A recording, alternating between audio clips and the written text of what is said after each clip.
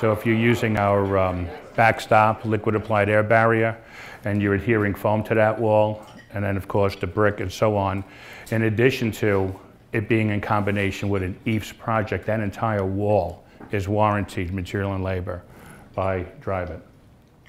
So what New Brick offers, we offer standard and custom colors. We have multiple textures, very, very similar to conventional brick.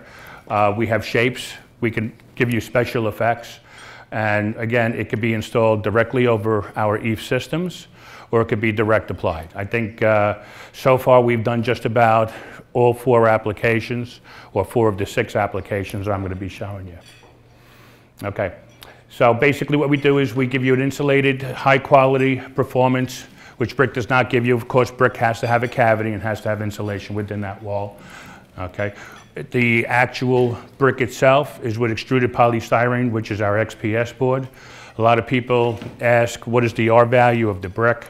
The brick itself is an R1.4. It's approximately one and one eighth of an inch thick, and it's adding R point, uh, excuse me, R1.14 to your overall insulation system. So we were just talking a little while ago, I've spoken with a few people, if you are using it with a conventional EIFS system, depending on what your batt insulation is, as long as uh, is in combination with the foam outside of the wall, that will give you your total R value, which we're going to get into. New brick could also be installed by anybody. Okay. Uh, a lot of times uh, when I introduce a product like this to uh, masons, masons really don't like this type of a product because they basically feel it's infringing upon their industry. Whereas when I introduce this to EIFS applicators, okay, basically what we've done is we've increased the amount of work that you could be bidding on. Uh, typically, when I did a little bit of research, I have found that on approximately 40 percent of all EIFS jobs, there's some type of masonry. So every time you go to one of those EIFS jobs, if you see brick and you're bidding the EIFS, you can now offer your contractor, your developer, your owner, the combination of a brick wall with the EIFS single source, one warranty. Okay, so one trade, one manufacturer, one warranty. We were getting into the different options. What you're looking at up there is, I'm sure if anybody here is a Dryvit applicator, you all know what Outsolation Plus MD is. We can install this over our Outsolation Plus MD system, Outsolation X, and our Cement Board MD. These are all outsolation systems which give you a liquid applied air barrier, give you your R value, it gives you everything soup to nuts. The cement board is something that has really come up in a lot of ways. People have asked us, can you do a cement board system? We offer. We have a C, a cement board MD system, which is a drainage system. That system does not offer insulation. Okay, that insulation would have to be within the studs. So basically, a cement board would be your answer if you were going up against a structural steel panel thin brick system. Okay, typically those systems drain. They don't really offer CI. They can at a greater price. So that would be our answer to that. If you want to go direct applied over CMU, you can go direct applied over CMU. We have two options. We could add the backstop, or you could do it without the backstop. Typically, if you're adding backstop, okay, that's because there's water penetration issues. There might or might not be water penetration issues if it's new construction. Uh, we're giving you both options. Absolutely. the question was uh, the architect is always going to want the backstop. Okay, so basically you're adding the backstop, and to to install the backstop over a CMU, it's typical to doing it with any conventional okay EIFS system. You should really make sure that those joints are either flush, okay, or you're going to have to skim coat it with Genesis, and then you can go and add the backstop, and then you can direct apply the brick. Um, this job you're looking at right here actually is in Connecticut. This was one of my first jobs, actually. It was done by Mark Topham, who's here. He's one of our Dryvit reps. This job was a tilt-up job, and it was supposed to be conventional masonry. The problem is when the panels got to the job, they didn't have any wall ties. They left the wall ties out. So basically, they could not install the brick. So we gave them a solution to install our product over it, saving them pretty much thousands of dollars. They absolutely loved it. It's a gorgeous job. Um, the only thing we always say, if you're using um, direct applied over tilt up, you got to make sure you prime that wall because if it's a tilt up wall, there's going to be conditioners in the foam, okay, in the form I should say, to release the actual precast panel. So you got to make sure you detergent wash that wall, okay, and then you have to condition it with Primate that enhances, okay, your adhesion. Um, ICF is very, very big right now. There's uh, many manufacturers out there in New York that are supplying ICF with a lot of developers. There's a lot of high energy jobs that are going up. There's a lot of passive house jobs going up. You're going to see quite a bit of passive house jobs coming up. So this is one option to a passive house. What's nice about this is when you get that insulated concrete foam, okay, form, and it's installed, okay, you have to be very careful because some of those forms, they do have a tendency of buckling. But by adding a Genesis base coat and mesh on the outside of that ICF, you can install the new brick right over it. This has really, really, really taken off. So keep an eye on masonry projects with ICF because again, what's happening with this is you're eliminating all of the hung lintels and relieving angles.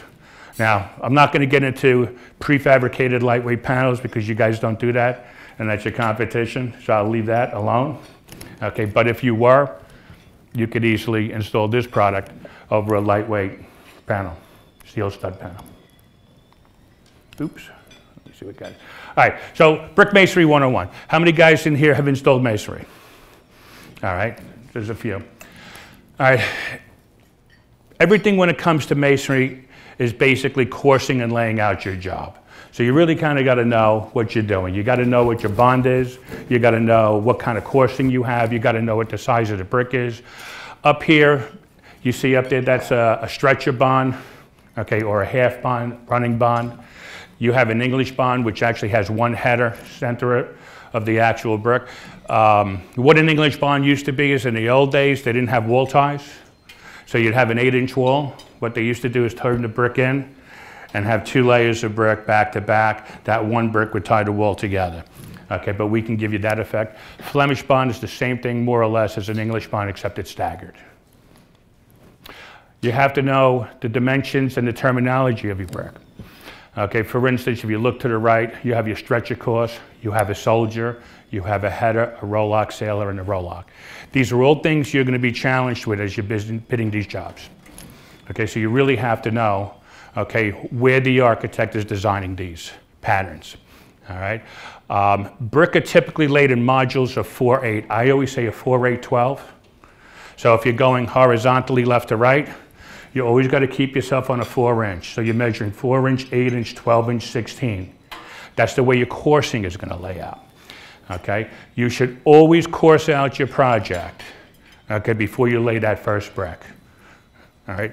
Um, one thing I am going to tell you, because this brick is one inch thick, a lot of times what guys do is they measure it out based on a 4A12. You got to remember, where a typical brick is being laid outside of the CMU, it will end with a 4 inch overhanging that CMU or that framed wall by 4 inches and then they're turning the next brick over and returning. Because this is 1 inch, you got to make an adjustment. It's a three inch adjustment. So when you're measuring it off, okay, remember you only got one inch that you're ending with, then it's returning. That's why you have to course out your job, lay it out. Now typically, if this is a specified project, okay, from the architect's standpoint, the architect is going to basically course it out. So all you got to do is look at the plans, okay, and it's going to be coursed out. But if you're switching it from a conventional job, you got to make sure you allow that adjustment. Because if not, what's going to happen is if they lay it out to the module I just told you and you get to that window, you're going to be one inch or three inch off. So you got to accommodate that one inch. Okay, so for all intent purposes, we make four sizes of brick. We can make any size we want. Okay, so you're looking at a modular brick, Norman brick, Econo brick, utility brick. So because that's what we produce as a standard item, I'm showing you what the coursing is. All right, so for instance, if you have an eight inch brick, okay, it basically takes three courses. If you wanted to turn a soldier, which means that brick goes straight up, three brick will equal eight. That's where your coursing is going to be on your heights. Okay? However, the brick is eight inches, modular would be seven and five eighths, plus the mortar joint, three eighths, gives you your eight inches. So always remember, even though the brick might be seven and five eighths or 11 and five eighths long, you're accommodating a three eight inch mortar joint. So seven and five eighths becomes eight inches. 11 and 5 eighths becomes 12 inches. Again, you're on that 4, 8, 12 module. The return is 3 and 5 eighths, plus 3 eighths is 4 inches. So on your horizontals, you're always working on your 4, A12 modules. You only have to lay out for your heights.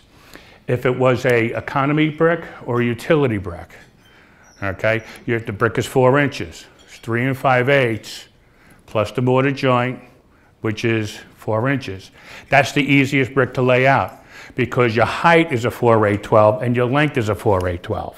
Whereas if it was a modular size brick, remember, you're working on an 8 now, okay, because 3 brick equal an 8. So, sizes. Right now, we offer standard sizes. What you're looking at up there, if I can get this proper, right there. That's our typical brick. I'm sure everybody walked around and saw our stretcher. A flat brick is called a stretcher. The stretcher actually has a pre-grooved spacer in there, which is 3 eighths of an inch to allow for that mortar joint. So when your team is actually laying the brick in the wall, other than laying out the first course, as they're laying their brick, you already have your 3 8 inch mortar joint. Okay. Now that doesn't mean you can go all the way up the wall without adjusting it. You're probably still going to have to adjust it, but that gives you speed from having to worry about lining it up in the wall. Um, as far as our end brick and our corner brick, the question has come up, why don't you have the lip? The reason is, is because of the way it's extruded. Whereas we extrude a stretcher elongated, it comes out of the extruder like that. In order to get the finish on the corner brick, it comes out of the extruder like that. So what happens is, as you're seeing Eric install the brick as we speak, we put spaces in there. So you'll go out, you'll get yourself three eight inch spaces. You'll get yourself some smaller spaces if needed for adjustment. So I'm sure you guys know what spaces are. You buy your spaces, they're reusable. That's going to be used for your corners. It's going to be used for your ends. The question has come up, well, why do you need an end brick if you have a corner brick? Well, if you come to a vertical control joint, you're going to need an end brick because you can't caulk against foam. Okay? Or if you have a flanged window, flanged window, you go right into the flange. If it's a recessed window, you're going with the corner. A lot of guys, what they do is if they know they're going to be on a 4A12, they'll put one guy in a saw and they'll cut him right in half. They'll just lay him out. Now, the nice thing about this is you could actually cut this very, very easily. You don't need a diamond blade brick saw. You can cut it with a rotary saw, a handheld, right there on a scaffold. Pull it up, make your cuts. Very, very simple. The product is two pounds per square foot as opposed to brick, which is 35 to 40 pounds per square foot. So you don't need pipe scaffolding. You could lay this product up on hung scaffolding. You could put it on scissor lifts. It's very, very easy. Anybody can lift this up. You got a cap unit over there. Obviously, cap unit will be for an overhang or a cap. Okay? That cap unit will also be used to soldier as a soldier course coming towards the end of the building where you might have your soldier, you come, make your return. Now, you see a 135 degree there. That's great, very typical, okay? We can make any angle you want. So although our standard shape is a 135, there are times you're gonna see a 120, you might see a 137, a 140, 150. And just so you guys know, I was in the brick industry for 30 years. So I kind of know how these shapes go, especially on a high rise. They're going to request a lot of different things. Um, just like the brick industry, a shape is a shape, and that isn't a standard item. They have to be manufactured. Okay. So we had a kind of a formula to get everybody to figure out, okay, how to come up with the square footage. It's easy math. You got 144 square inches in a foot, okay? So what I basically had told people is if you take a 3 and 5 eighths by 7 and 5 eighths brick, okay? Basically, you're going to take that calculation with the mortar joint. 3 and 5 eighths is 4, 7 and 5 eighths is 8. So you have 4 and you have 8, okay? What's 8 times 4? Come on. 32. Okay? You take 144, you divide it by that number, that's your square footage. That's the way you calculate what a brick is going to yield you. All right, so doing the math for you, and we, we, provide this anyway. A stretcher or a flat brick is going to be 6.85 brick per square foot. That is without waste. Okay? Uh, to have a corner brick, corner bricks are measured by linear foot. That's on your height. Okay, the, a lot of guys just figure 4.5. The true number is 4.57.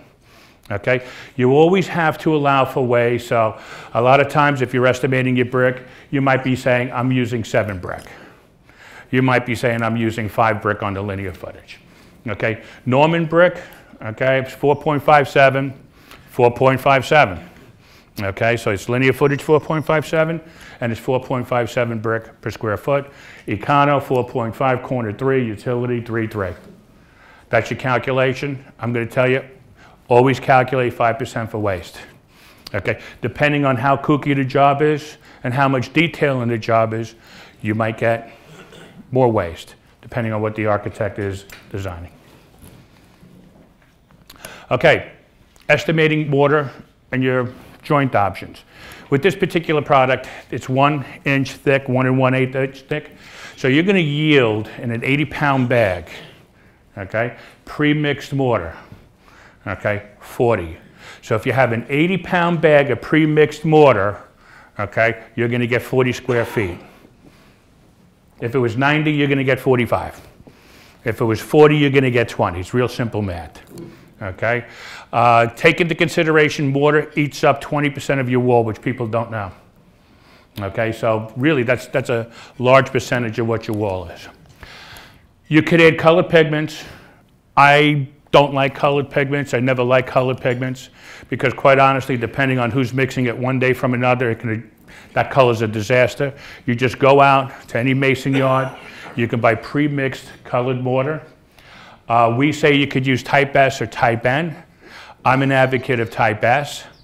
All right, the reasoning is there's a, a question mark. People have indicated that type N is more flexible. We're not looking for flexible, we're looking for flexural. Okay, type S is more flexural. There's a difference between the two.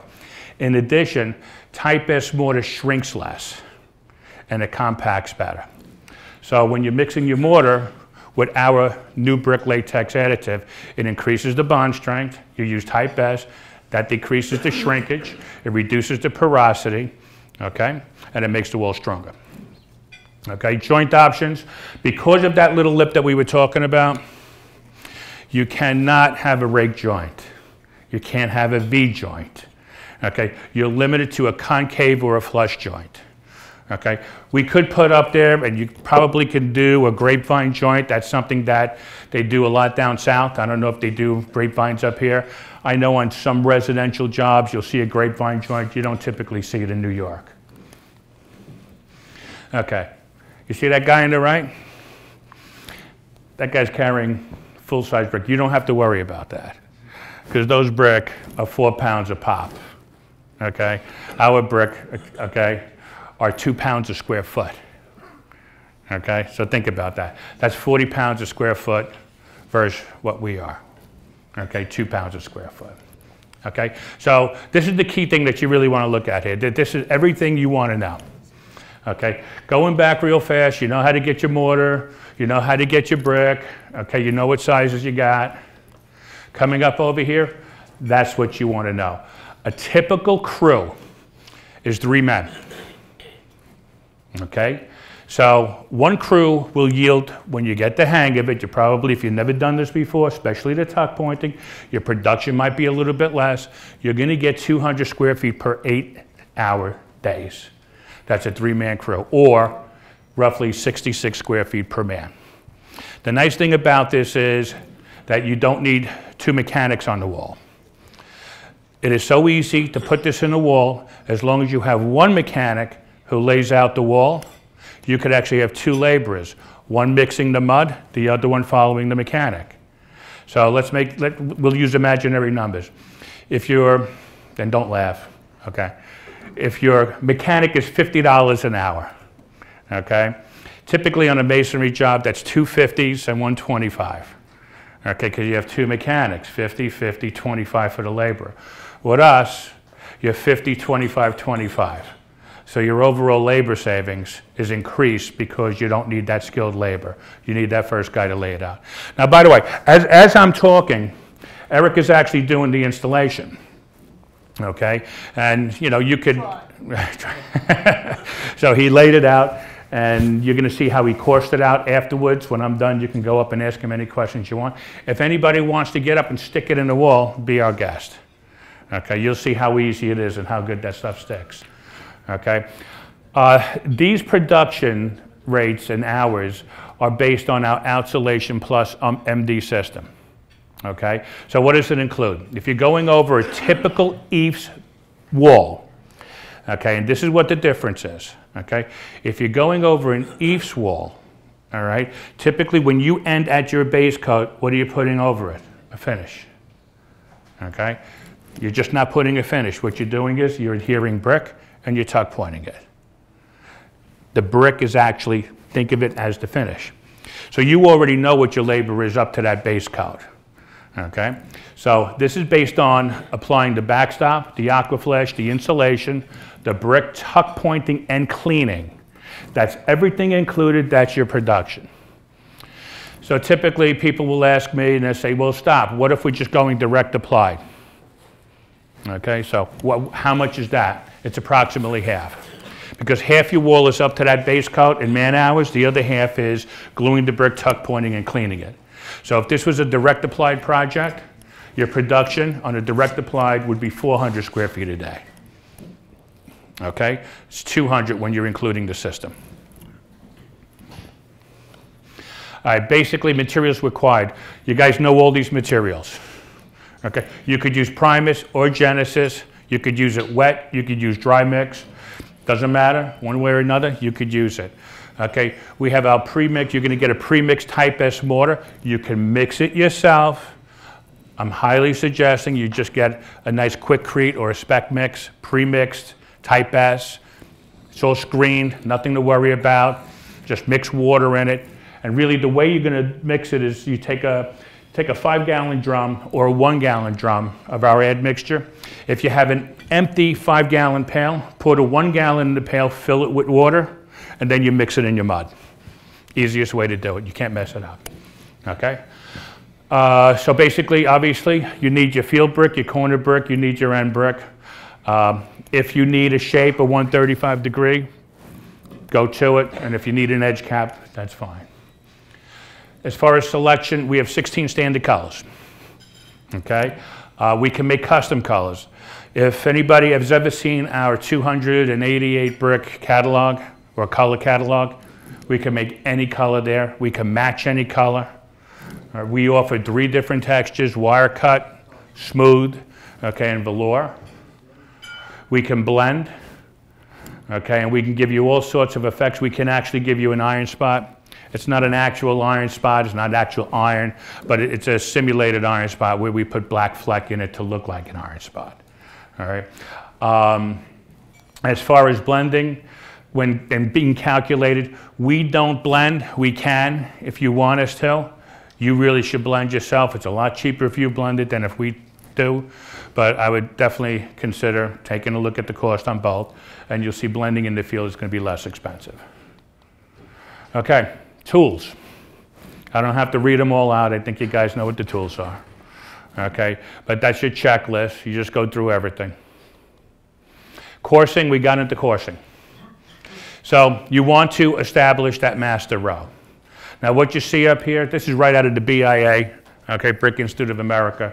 They're working the walls on 48 inches, 4 feet, okay? And that's what you want to lay out. You want to lay out your lengths and your heights.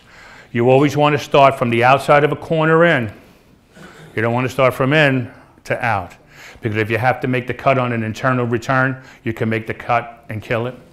But if you start inside and you get to the end, you don't want to have that little piece at the end of your wall. So it's always suggested you lay out from the outside coming in.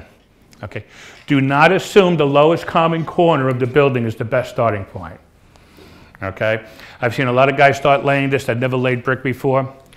I have always, as a brick mason, taken it from the top of the windows down. Okay. Or from the floor lines down okay? Because you want to have a true eight inch, okay, or a true brick on the top of your window. Typically windows all line up on their heights on a building. Okay, you'll see, well, hopefully right, yeah, because sometimes they're off by a few inches, um, or a few, whatever. But to make a long story short, if you, if you stop at the sill and then you go to the height of the window, you're going to have a problem. So if you take it from the window height down, Always remember one thing, you're gonna have a sill or a rowlock. And that's where you're gonna make your cut or you're gonna hide if you're off a little bit. All right, and that's basically what, you weren't here when he was laying the project out, but Eric laid this all out and he is dead bolts on. Okay, I mean, he will just run that up. He'll take his uh, level every now and then. He'll measure every two feet just to make sure he's coursed. He'll add shims as, as he needs them. Okay, and you'll see that wall is going to come out absolutely perfect. So again, guys, lay out your job, figure out your windows. Door heights don't typically line up with window heights, but window heights are pretty true on a project. Okay, you'll always see that the bottom of the windows will be altered, okay, but you don't really see that the heights of the windows. Okay? Um, make sure you locate your head joints, so on and so forth. Okay, you can get jack arches. Okay, you can get circular arches. What we've done here is we've teamed up with Acrocore. Acrocore um, does our Dryvit shape pro program for us. They'll be coming on after me. Uh, I thought it would be really neat because they do jack arches for us. Uh, they do sills. They do all sorts of shapes for us. And I thought it would be great to do this presentation showing you a jack arch. You could put a keystone in there. You could have a sill. You could use a roll rowlock if you want without brick. But typically in a residential job, you're going to see that you're going to have some type of cast stone. So by Dryvit teaming up with Acrocore and manufacturing these shapes, if you go to a masonry job, you're going to see cast stone or limestone as your accent banding, okay? You can do that with us. So there would be a conventional brick with limestone or cast stone? Well, we needed to answer that. So with Acrocore, we answered that. So now your entire wall is an EIFS and a foam wall. And it's one manufacturer, single source. All right? Now, what you're looking at Eric doing right now, when you're applying the adhesive, you want to be vertical. That trowel should be on a 45. Okay? You can, doesn't matter if you go from the bottom up or you go top down okay? But the brick actually drain behind the brick, in front of the foam, and behind the foam. So unlike our EIFS systems where it drains behind the foam, this actually offers drainage in both the front and the back. Chances of water getting behind the foam are very, very slim. Okay, so you're draining from two different locations. Uh, the reason why you don't want to go across, because you don't want to trap water. So any type of residual moisture that might get in that wool, if you notch trowel left and right, you will get some effects. If freeze thaw, you might lose a couple of brick. Okay? Um, you could actually do a, a ribbon, which you just dab two ends of the brick, but we don't recommend that. A lot of guys in the brick industry that's done thin brick, they put two dabs at the end of the brick and they stick it in the wall. We still prefer that you do it our method. Okay, so again, blending. When you're blending your brick, you're going to get boxes. These Actually, we eliminated the box. We now have straps. So they're going to come in straps of brick in a bundle. okay? We want you to work for multiple bundles. If this was a conventional brick, you'd be working from two or three pallets, and you'd be coming downward on it. Well, we kind of want you to work for multiple boxes. Okay, because remember, it's a manufactured product, so depending on how it's being extruded and how much finish is actually going on the unit itself, although very accurate, you can have a little bit of inconsistency, so we do want you to work from multiple boxes. In addition, if you're blending your brick, when you order your brick, you just give us the percentages. We'll make sure it's shipped with the blend that you want. Lay it out, take a look at the wall, make sure your blend is proper. Just do it the right way the first time and you'll never have a problem. We already got into the fact that the corner brick and the end brick do not include the spacing lip. Um, we are looking into a different method of a corner brick right now where we actually miter it and then finish it using foam to foam. If that should happen, there will be the spacer on the return. But for now, you're using spacers as you see Eric doing. All right, setting the brick, guys. There you go. Nice and easy. Now, the one thing is, in your heights, as you're measuring off, you might dip a little bit in spaces depending on how the wall is going. Again, you could use those smaller spaces just to bring yourself up a little bit. All right. But as far as horizontally, if you're running off, there's two things you can do. Okay. What is acceptable by ASTM standard is your mortar joint cannot be less than a quarter inch and cannot be any wider than a half inch. What does that mean? If you're running off, okay, or you're getting too tight, you could either tighten the mortar joint or you could open up the mortar joint. That is always favorable. If that's not going to work, you could always cut the brick. My suggestion is that if you have a long wall and you're running off, don't put the cut at the end put the cut all the way up the middle. So let's say you were off by an inch and you needed to make that one inch cut. If you hide it in the middle and be consistent all the way up the wall, okay, you're not going to pick it up.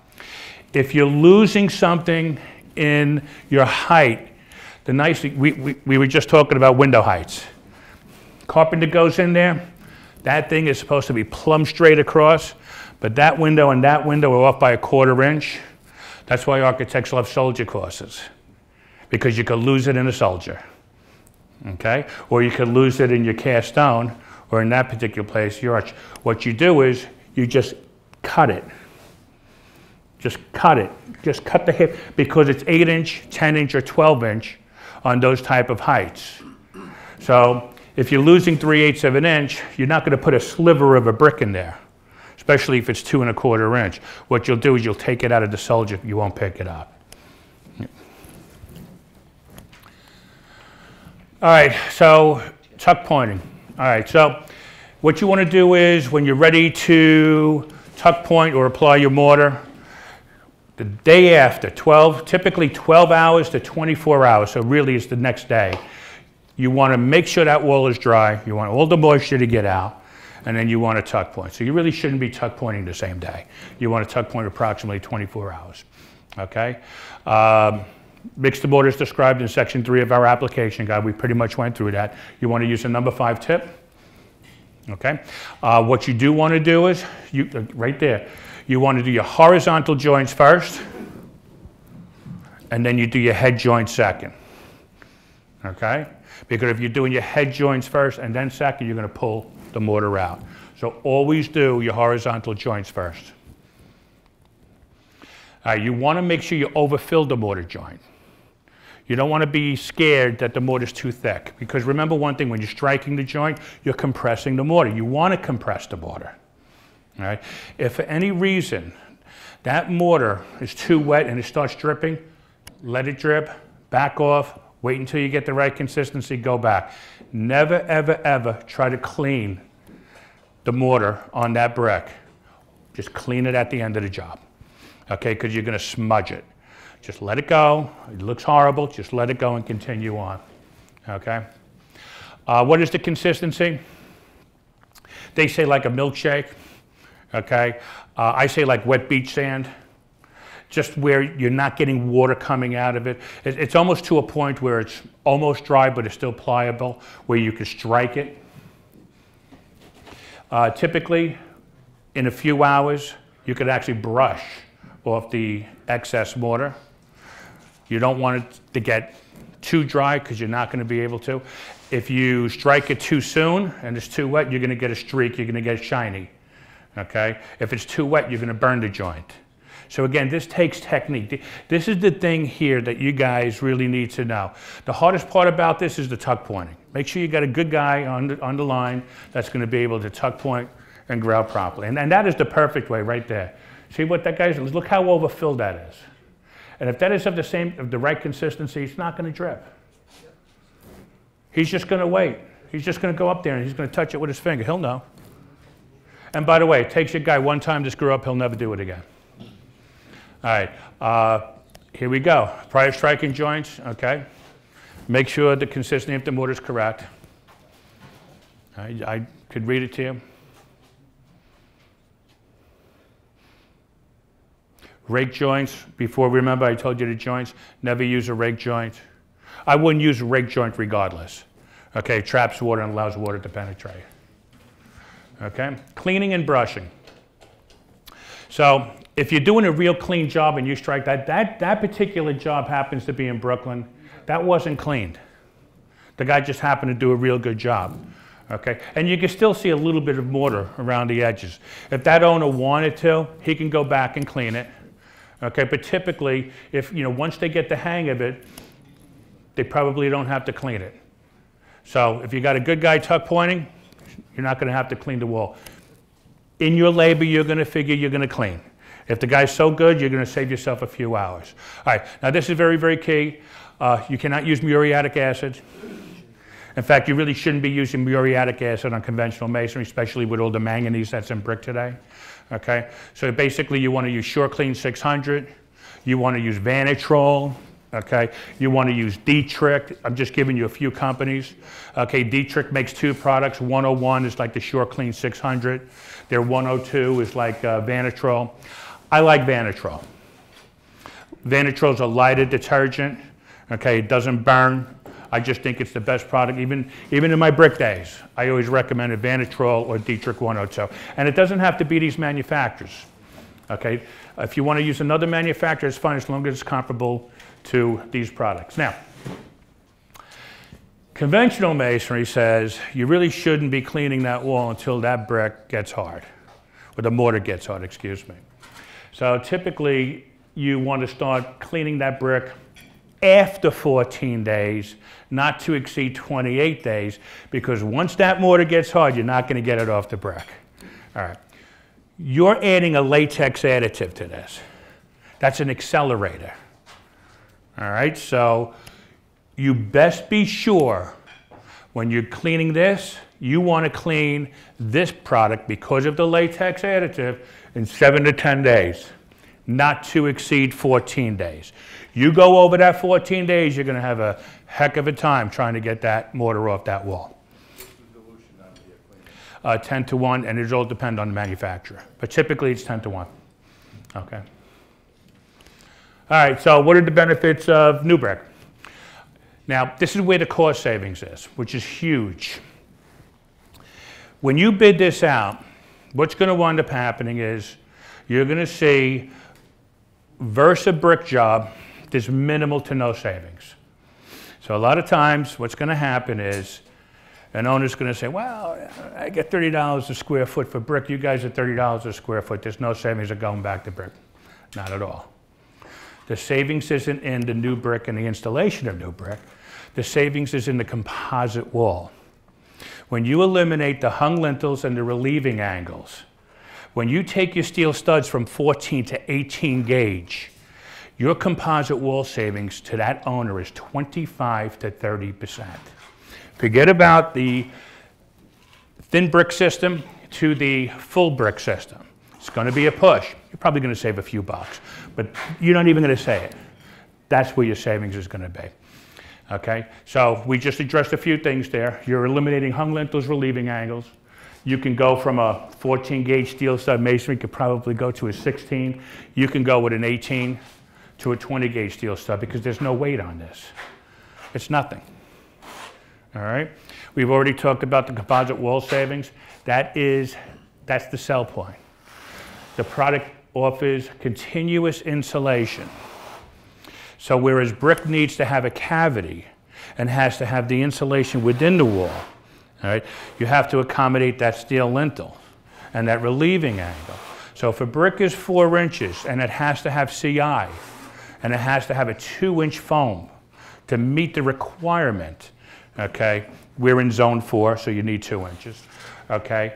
That brick being four with the one inch cavity is five plus the two inches, five, six, seven, that's seven inches of steel that has to carry the weight of that brick. Okay, there's no steel needed.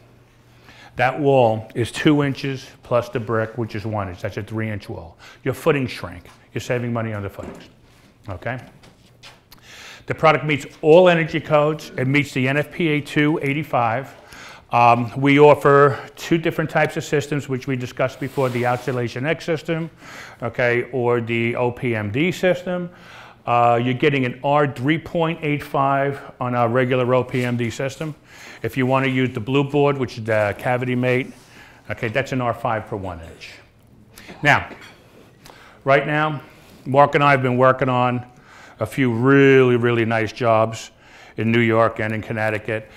It seems that passive house is the big thing in the New York metropolitan area. These are high energy walls. I could rattle off a half a dozen, okay, developers and contractors that are using new brick because they do not want to use the steel within the wall. They just want to use a continuous wall of insulation.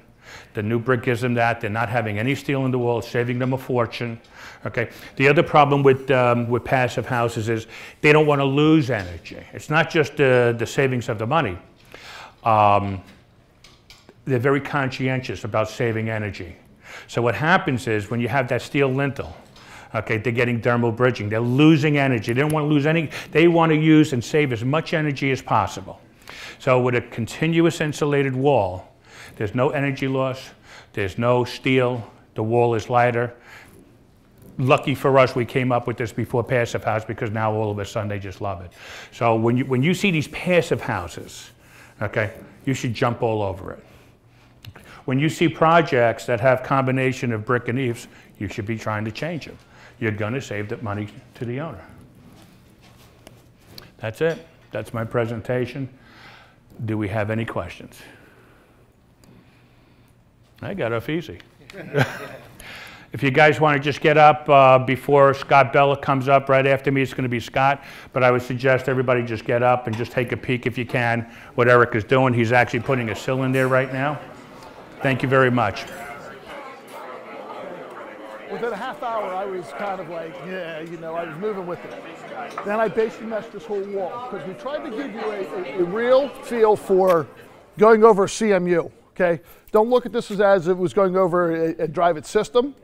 Okay, look at this as going over CMU. So in the upper corner, I kind of try to draw in a little bit what the block was.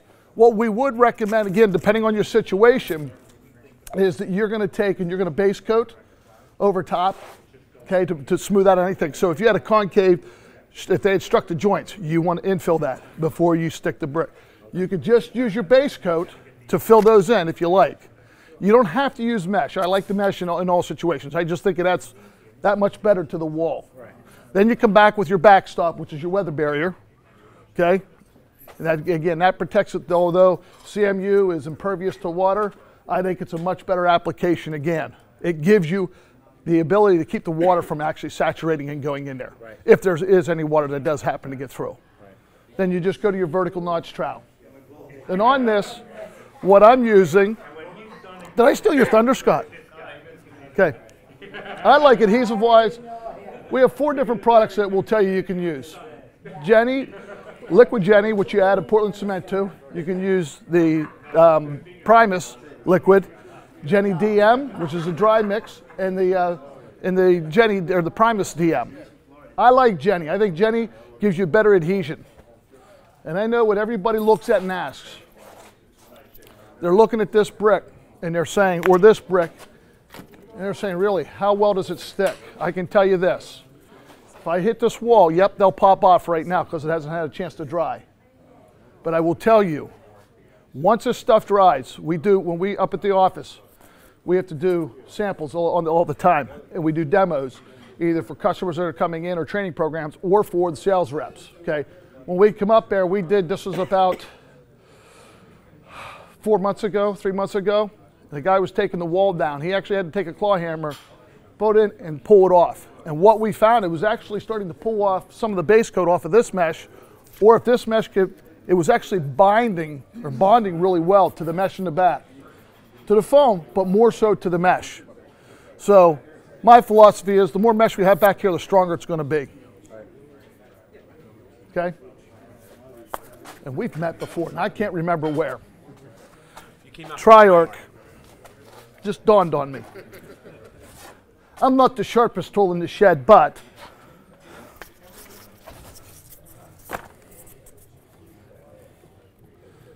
And again, I think Paul talked a little bit about the end bricks and so on.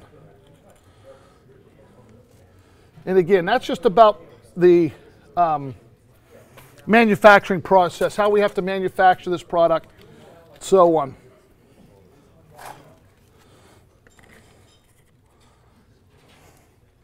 The other thing, what you don't want to do, and I'm going to clean this off so it doesn't matter. What you don't want to do is this. Okay? Because what ends up happening, it fills the thing in the back. We would prefer, we would like a drainage plane. So,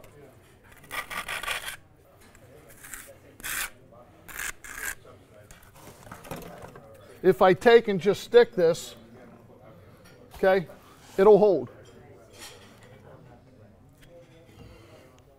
See, it gives it a slight drainage plane. And again, this is going to be for incidental moisture. This is not clay brick where clay brick becomes saturated. It becomes, once it becomes saturated, it will not take any more water on.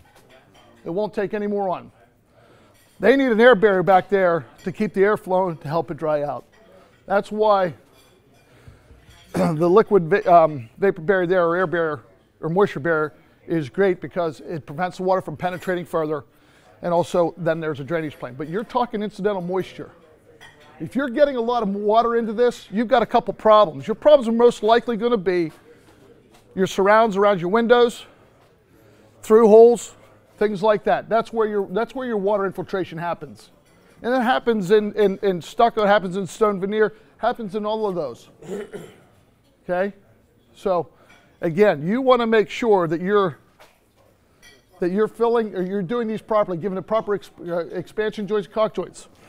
Another question that a lot of times guys will ask, knowing the Dryvit system. Dryvit system, when you're using expansion joint, caulk joint, right? They tell you not to put finish in there, right? They want you to have a base coat, they want you to put primer over that. Does anybody know why? Because Dryvit's really mean, right? Actually, it's not. Where that comes from is from the adhesive company, the, the, the sealing companies. What the sealing companies are saying is when you put that finish in there, you put the sealant in there, it doesn't bond as well to all of the aggregate. To me, it took me a while to actually grasp this. I'm like, oh, no, it gives you something to wrap around and hold on to. Absolutely not. Smooth surface, it gives it a whole surface to adhere to. That's why they don't want a finish in there. But we've gone to them, we've had it tested. This is an acceptable material to adhere your sealant to. Okay? The other thing is, why do we use back rod in the back of the sealants? Okay, a lot of people think it's a couple reasons. One, it's a filler. Two, it adds a little bit of space. The third thing is, sealants are designed to only adhere to two areas. Okay, two spots. So if you have a side to side in the back and it's adhering to all of them, it has a, literally it has a two in three chance of failing because one of those threes are going to fail. Which one's going to fail?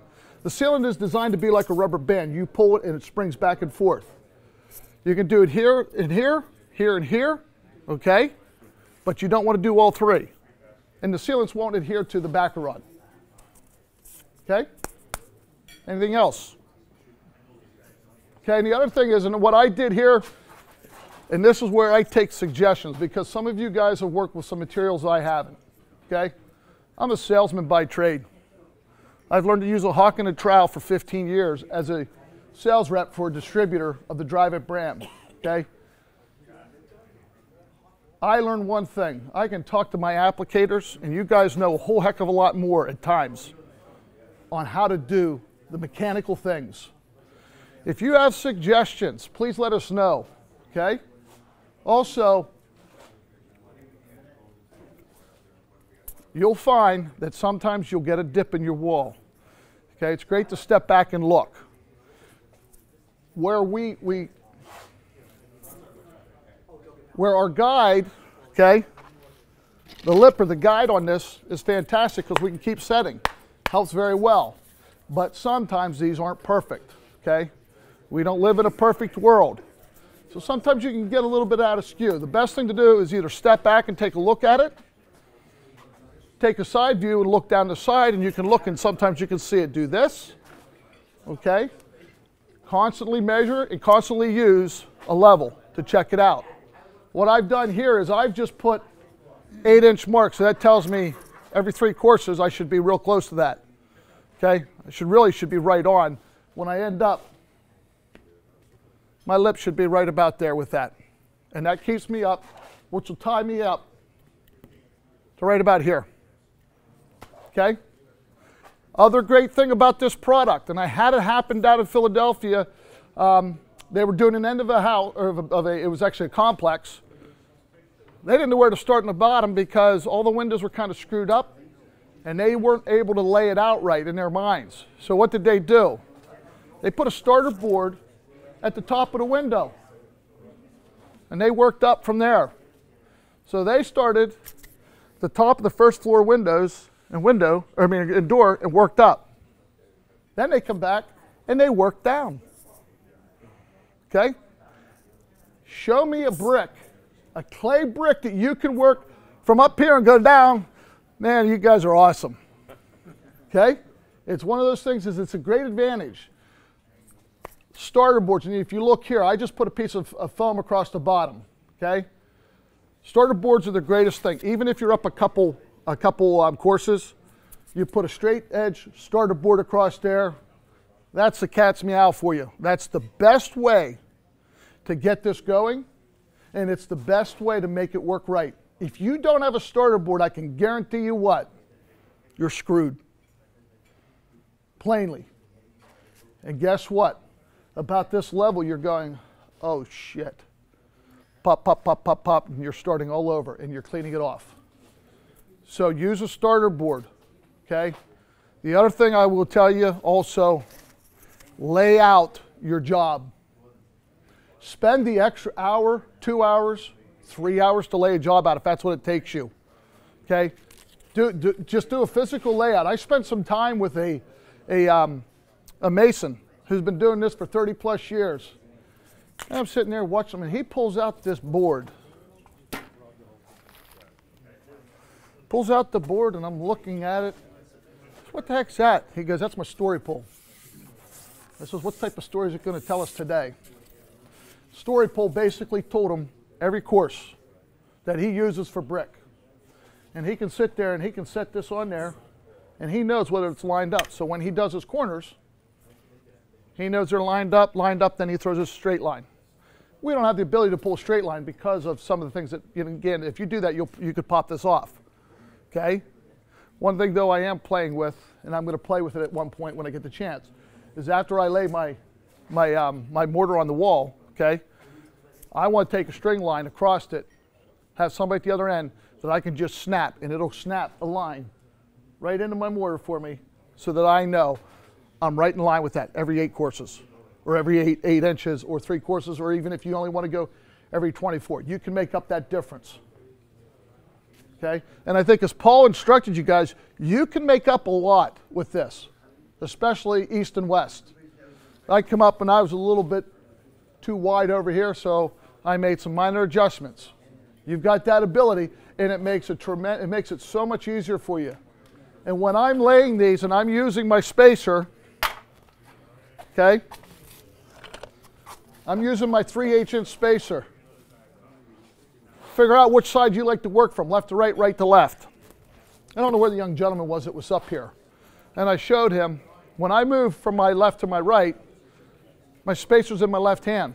Why? And my box is in my right. Why I pick it up, bam, stick it. This one's stuck. I reach down, I grab the next one, stick it. The other thing is I hold in the bottom and I hold in the spacer area.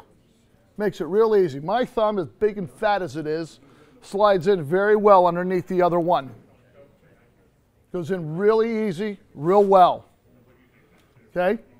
So it's a very simple. If you have to make a slight adjustment, moving a little bit left and right, you're not going like this. You are moving it left and right. It's going to give you that adhesion. Okay? Um, again, you can see I always carry a multiple of, of different spacers. If I have to make up a, a 16th, okay, I don't have a 32nd, but I have a 16th, and I have a variety. 3 eighths is really my, my, my main play here. Okay? Big question that people want to ask is what happens if I get the Primus or, or, or Jenny on the face of the brick? Sucks. Actually, it doesn't. What you can do is what I would tell you don't let that dry for two, three days. You do, it's going to be a bear to get it off. Let it set up and dry for a couple hours. Then what you want to do is pull out a spray bottle, if you can, come up, spray it.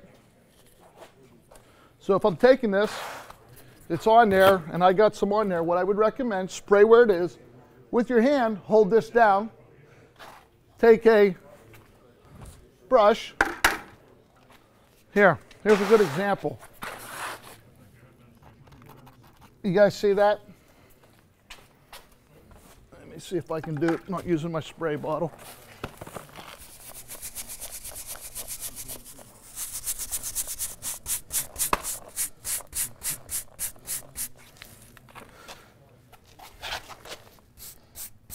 Pretty much off. Okay? I went a little bit quick with a spray bottle, then you can saturate it and it'll, it'll run off. When it comes to the mortar, and I got to tell you, mortar isn't working for me tonight. Okay, sometimes I've, when I buy the pre-mixed stuff, sometimes it, it doesn't work well. It, it, it bonds up really fast to get it out of the grout bag. I'm not going to sit here and screw this wall up over that. It's not worth it. Okay, but if you get mortar on it, everybody says, how does it clean? I could tell you, first wall I ever did. I did for another di- distributor in Pennsylvania. This is a week after I was introduced to this. I'd never used a grout bag in my life, except for making cakes for my daughters. Quite evident that I'd never used a grout bag in my life. I had grout everywhere on that wall. And I think about the only place I didn't have it was in the joints. Okay? What I did do is I tried to clean it off too quick, so it was still very wet. I struck it and it was all over. Well, I had this brilliant idea. I'll scrape it off with this. I'm going on an angle so that I come across, I'm not hooking in there. Next thing I know, it's coming over the face of the brick. Even a better idea. I grabbed a brush and I started brushing, and it coated the whole thing. Sure Klean 600 did a wonderful job on that. Wasn't perfect, but I can tell you after that, I learned how to grout properly. I learned to let the joints set up. The other magical tool, if you're doing this, or not if, but when you do this, the magical tool is a zip tie. That's a $50 tool I'll sell you every day of the week. Okay? Make a zip tie, make a little loop. If you take that and you come across the joint, you're knocking off the excess, so it's almost flush. Then when you come back and strike, you strike and you only have a little bit that may come out. You have very little to clean up. Okay, then you can come back with your, with your tool and just scrape off the little excess after it sets up a little bit more. And then when you clean it, it is easy. And I mean it, it's easy. You fly. You fly with it. Um, and I think Paul addressed this issue again with your layout. You start from the top of your window and you work down makes a big difference there. Okay? I became this. My wife thinks I was sick or something.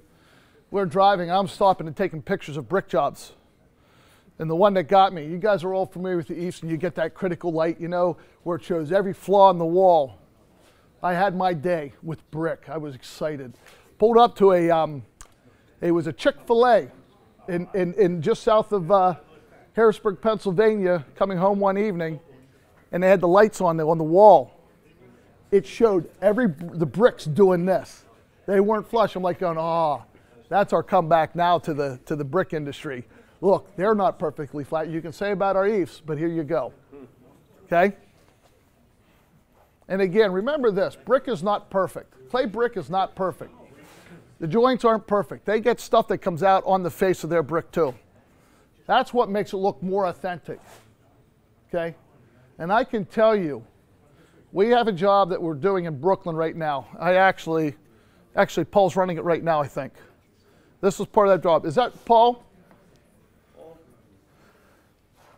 But this job here, and you can see that's that literally that's in seven stories. The reason they did use use the NewBrick on it, they wanted to keep the the, the, the deck or the roof, because they are the, the tenants are going to be have access to that. They wanted to keep it looking as much like brick as possible. Okay? But they didn't want to add the extra money, the cost to put in the additional supports that they need and so on, and actually take away, because they were going to have to drop it seven stories to carry the load the way the walls were designed at that point.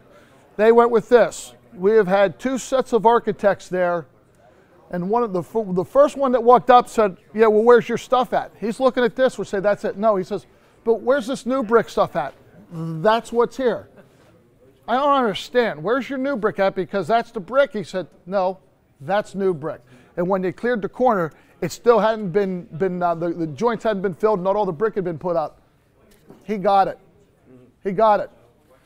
I think it, they were talking about an 80,000 square foot job at that point. Okay? I'm telling you, when, you, when people see this and they understand the, the, the, the CI code, the continuous insulation code, and what's required, that's where this thing's going to take off. And that's where you guys are going to have a golden opportunity because guess what? This commands more money to be paid to you guys. Really, it does. Commands more money. This is a quality product. There's nothing else like it in the market. And guess what? We can do something that brick can't do. We can offer the continuous insulation. And you guys, I'm telling you, you have an opportunity because, like any of our specialty finishes, you should be getting more money from that. Because if you're not, you better hire a good salesman. Because you can't get the quality, you can't get the look for the price that you can be charging for those products. This is no different. This is no different. Don't take into the account the price of the brick. That's not what this is about. That's not what this is about. This is about meeting a need that nobody else can meet right now and giving them a product that looks like brick, acts like brick, feels like brick. And I can tell you this Dryvit's only going to get better with what they're generating for you on this product. Right now, people look and say, oh, well, you only have a couple textures. Yep. But guess what? The brick's been in business for 30,000 years. Jesus was, I think, amazed when he saw those blocks and he said, I think my dad may have created that. Okay? Well, guess what? This is only a year and we're getting better. And people are starting to take notice people were, we actually had a guy post something on um, LinkedIn last week. He had a Mason supply house from in Texas call and say, I want that. I need to distribute because he had two of his customers calling him, Do you sell this stuff? Where do I get this at? Through LinkedIn, something so simple. Other questions? You guys are too easy. Sorry? The corner bricks there, when you broke them up, Can you speak English? you have very little of a seal there when you grout them there to the raw styrofoam on the corners. Yep. Is that to, is that sufficient? Nope. They've tested it all. That's one thing Dryvit will do. They t- put it through their accelerated testing. They send it, they send it out for, for, for the fire testing. Everything gets tested. Before they put it on the market, they will test it. They'll put a couple hundred thousand into their testing on these products. It's been tested for the joints and that. Now, I think Paul may have addressed it in the mortar. When you're mixing your mortar, okay, we have a, we have a, uh, a NewBrick ad mix. It's a four to one mix. You take one gallon, you put, here's what I recommend you do. You take one gallon, you pour it in a five gallon bucket. You take four gallons of water, pour that in there, mix it up. So when you're mixing your, your, um, your mortar, you're just dumping that in. You're not taking guesswork. Well, yep, that looks about right. This looks about right. It's easy if you're mixing in a five gallon bucket. All you're doing is picking the bucket up. Once you get your consistency, put your lid back on your bucket and you continue back through it.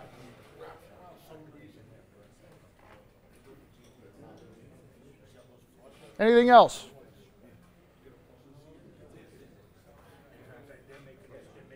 That's it. That's the only question. That's the only question That's the only question. Yeah. No, and that's that's legitimate. That's a lot. We get that all the time. We get the well, you know, how's it gonna? Okay, it Barnes, I've got a couple of these samples are, are mine for my truck, for my calls. I had somebody the other day look and says, "Well, look at this. It's cracking." I said, "Let me tell you what. It's been in my truck for almost eight months, and it gets thrown around. Things get smacked against it, and it's on a flexible board." If it's bonding and you only have a slight little crack like that, you'll have that in brick too. Actually, I had an architect look at me and says, Look at this. Looks so authentic. It even has, you guys even put a crack in there. Yeah, we did, just for you. What's the work time? Time of walk? Well, here's what, here's, this is starting to run out just because what I do with my, with my, uh, my Jenny, I make it a little bit wetter. I find it's better. And you only want to work a couple feet up, a couple feet over. Okay? I have this really dumb idea of having a machine that I can slide these through and they slide out with the ribbons on it and you just pick them up and you put it in there. You know? But yeah, you, again, you got to keep moving with it. And you know what I would tell you, it's like anything else of our products. Um, in mid-August, on the south side of a wall, you want to start at about 5:30 and you want to end about 9:30. Sets up rather quick. You know, again, if you, but I- but again, I temper it to make it a little bit uh, uh, a little bit more wet. Okay, makes it. And honestly, I think it makes it easier to work. It sticks a little bit. If you've got an area that you don't have that, if you don't have the support under it, that will cause it to sag. But I can take this brick here. Actually, if I put it on there, that's not going to sag on me. That's had a chance to set. Okay. Had I put that on earlier, it would have started to do this. It'll move down about like that.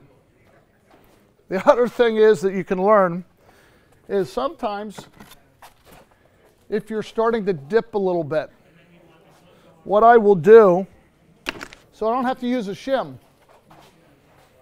I'll take the brick and I'm going to exaggerate this. I'll take the brick, the brick above it, and then I'll push it down. And what happens is it pinches a little bit of the base coat in between that. It'll create just enough of a lip, enough of a gap in there, okay, to bring you back up to level. Nifty little thing I just happened to come across. I'm, I'm, I'm, falling behind and I put up and I, and I went like that and I said, now, I said, oh, now I know why. And I got away from some of the shims, especially that you're, you're talking a 16th of an inch at most, 32nd, that brings you right back up with it. Can you hear me in the back? Can you hear me? We're good? Okay, thank you, uh, everybody. I'm Scott Bella with Dryvit Shapes by Acrocore. We are manufacturers of pre-coated shapes and pre-coated starter boards. Um, and briefly, if you look at the wet wall and you look at the amount of brick that you see here relative to the pre-coated shapes, well, proportionately, my presentation will be that much shorter than Paul's.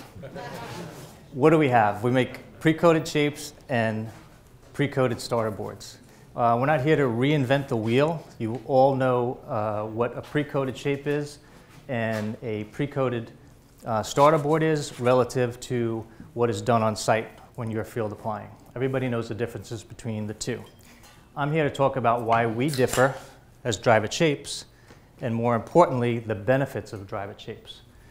We like to think our company is unique in that the three principles, myself being one, uh, I've been an architect for 25 years, practicing in New Jersey. Jack Solik is uh, here, my partner. He's been manufacturing pre-coated shapes for over 20 years. And our third partner, who's not here, has been a 30-year builder of custom homes in New Jersey.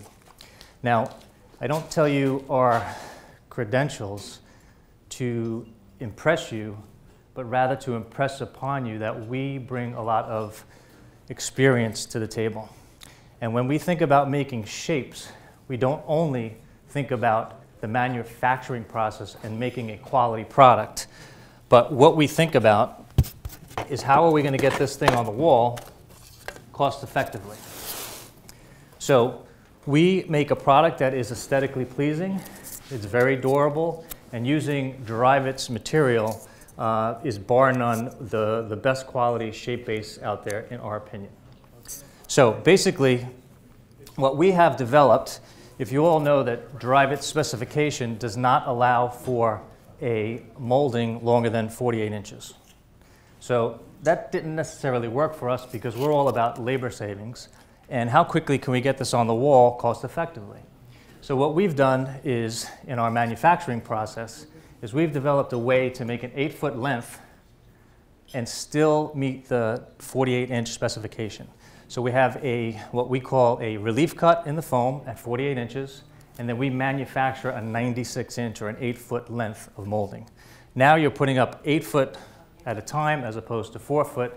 Half the time of the job, again, you have your labor, labor savings. Currently, uh, putting a pre-coated shape on the wall is, and, and most of you have done this, I'm sure, or, or know better than me. I've never put a pre-coated shape on the wall. But what I have seen is that you base coat the back of the shape, you put it on the wall, and then in some fashion, everybody does it differently, you have to temporarily hold this shape in place until the uh, base coat dries. So what we've done is we've developed or created what we call the cleat system. We haven't developed the cleating uh, technology. However, we have cut out the back of our moldings and developed a foam designed cleat that will will do for you is we call this a temporary hold. You would put up an eight foot uh, length, uh, wind lock it to the wall, strike a, a, a line around the building, basically windlock this all across the building. Now you're ready to apply your shape. So basically you're base coating and you're hooking onto the wall.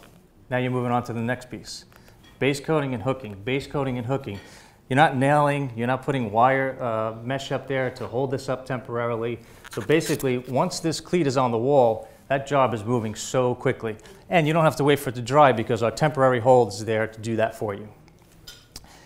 In addition to that, what we've done with our shapes is we offer two different ends. We've pulled the mesh back two and a half inches on uh, one side where you can mesh that joint, and then base coat it in the field by simply taking the trowel and riding it along the profile shape to create that joint. Or you can do a standard butt joint. You obviously have to still mesh that, bringing it down um, and feather it out. It's all a matter of what you're used to uh, in the field. If you prefer to have the, uh, um, the mesh pulled back, it's a simpler joint for you, that's wonderful. What we tell our customers is that it's, it's, a, it's a per job basis. Whatever, whatever the job entails, that's what you're going to do. If you have a lot of short pieces and a lot of cuts on a job, we recommend going with the butt joint because you're going to be cutting this stuff up on site you're going to have a lot of these butt joints. You're going to be used to doing it and feathering it out. If you're running a banding around a building that's a thousand linear feet, you might want to think of doing this because you can basically put up all these eight foot lengths and uh, run your same joints all the way around the building. So again, we're constantly thinking about labor savings and what is going to be easier for the installer when it's up on the building. In addition to pre-coated shapes, we are making um, pre-coated uh, starter boards as well. The benefit of the starter board, as you know, in terms of labor savings, is it obviously goes up a lot faster than back wrapping on the job. You take 10 eight-foot lengths of starter board and windlock it to the wall, and in about 25, 30 minutes, you have 80 linear feet of starter board on the wall. Think about how long it takes to back wrap mesh coat uh, on site 80 linear feet. So the time savings is incredible. And the same rules apply to the starter board as they do to the shapes, in that we do manufacture this in an eight foot length. There is, you probably can't see it here, but there is a relief cut in the center that will be finished on site. There's about one inch left to make that little slit. And now we meet the Dryvit specification uh, for the 48 uh, inch length boards. We do. This is a, this happens to be a two inch, but we do from one inch all the way up to six inch. We've been asked for thicker, but we haven't gotten there yet. But yes, we do all the thicknesses. Um, our pre-coated shapes are basically all pre-ordered to, to, to, to, to be made. Uh, every shape is going to be different. Our starter boards are an inventory item. Century is stocking starter boards currently today. Shape, yeah, shapes, uh, typical, a typical shape order is usually seven to 10 days manufacturing and then we ship out. So it depends on how big the job is. It could be three to four days and we ship out, or it could be two weeks, depending on how many pieces there are. Um, so again, uh, Century is now stocking uh, starter boards. Um, I think Vito's in the back taking orders uh, if you want to pick some up. So essentially, again, our company um, is always thinking in terms of construction, how it's going to benefit the job. Uh, starter boards, as you know, uh, I have brochures, we're going to be handing them out later, but starter boards, many of you know, are um, not only at the base of the building, there are 23 different um, conditions where starter boards are being used throughout the building around windows, soffits, at the base, uh, vertical joints. So essentially, the time savings, uh, instead of pre-wrapping on the job, is really uh, beneficial when you're using a pre-coated um, starter board. Scott, Yes, two other things, I think. One is that it's always perfect It's- compared to having your, your guy down the bottom it is. trying to do it. Number two, it eliminates the need for either starter track I was just, just thinking of that, yeah. So, so good point. Um, the uh, pre-coated shape is always going to be um, consistently made. Consistently, you'll have the same thickness throughout. If you have a guy trying to um, uh, finish off uh, pre-coated, uh, I mean, a, a back wrap shape on site, it's going to be messy. It's not going to be as um, good of quality uh, as, a, as a shape. The uh, starter track is eliminated when you use the starter board. With the vertical trowel pull, you're going to have your drainage in the back. We cut out uh, a little notch in the back, so you're going to have your drainage come straight down and out the bottom of the uh, starter board. So you eliminate the starter track. It also, it also forces you to stagger the foam joints and the sheathing joints. That's correct. So yeah, you do have that stagger as well. Not, not everybody does that, but you're supposed to. That's right, yes. so. Yeah. So all, all around, uh, good quality, but in terms of uh, construction time savings, that's what we're all about. We are now um, finishing up uh, tooling for what we have uh, is a new window corner, pre-coated, back-wrapped window corner.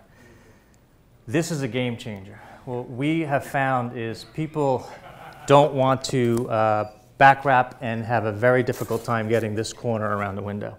So putting this up and then matching it to a starter board, your windows are going to be done in no time, and you're going to get the quality of a three millimeter thickness of polymer infused cement uh, shape base that Drive is providing us, as opposed to uh, a one millimeter pull on the, uh, you know, a field applied back. So, bi- You're also ensuring that you have a sheet rock cut as the manufacturer recommends. You're not supposed to have foam board joints at a corner. Correct. So you're making that so you never have to worry about it, especially with third Right. party. If you have third party inspectors and if they come out and they pick that up because they don't really know what they're doing and they read the drive, the drive rules and they say, oh, now all of a sudden you have like a quarter of the building done and then Yep. picks it up, now all of a sudden they say. Now they wanna look at everything. Now what are we gonna do? yeah. Yeah. Yeah, so, so in addition to uh, the shapes that we're, we're showing you here tonight, I just want to talk a little bit about what Dryvit is doing uh, when using uh, pre-coated shapes, starter boards, uh, and now the window surrounds. Is with a standard uh, insulating system, uh, system, 10-year warranty, if you use starter boards, Dryvit shape starter boards, and/or starter board shapes, Dryvit is taking that 10-year warranty and jacking it up two years to a 12-year warranty. That we find is a huge benefit um, when talking to building owners, architects, um, and you know all around um, telling customers that you know we're a good quality product and we're going to last. You know we're willing to give you two additional years because now you have a whole system that is a 12-year warranty as opposed to the 10-year warranty and then putting on a, another company's shape uh, where you where you don't necessarily get that warranty. In addition to that, um, Dryvit Shapes is ICC code compliant, which is very important uh, in terms of, you know, when, when architects are specing a job and they want a code compliant shape, they're looking at Dryvit Shapes as opposed to someone down the block who is just making them out of their uh, garage. So basically, uh, that's all I have today. Uh, I will be here, uh, Jack will be here as well to um, answer any questions that you have about any of the shapes before you. We have uh, a bunch of samples in the back and a bunch of um, uh, brochures that we can hand out, uh, my cards as well. Uh, again, Century is now stocking starter boards. Go take a look at them. Uh, pick up three or four, try them out on, on the next job. And we assure you that the next time you come back, you're going to be buying a crate because they're just that much easier to work with. And what we have found as we roll out this um, starter board program across the country, once it's used, they're going to use it again and they're going to keep coming back to buy it. Uh, again, labor savings, uh, good quality product, Dryvit shape base, Dryvit materials, um, and of course, 12-year warranty as opposed to 10-year warranty. So, any questions? Yeah. We're going to be, this has just been approved by Dryvit, so we are going to start this program uh, as of today, and this will be stocked, in, Century will be stocking this as well as uh, a lot of manufacturers. Uh, I'm sorry, distributors. Yeah. Any other questions? Thank you. All right, thank you all for coming. I want to thank both uh, Acrocore and Dryvit. Let's give them a big applause. Eric, Eric did a wonderful job on the wall. Paul, wonderful presentation. Thank you, Scott. Thank you.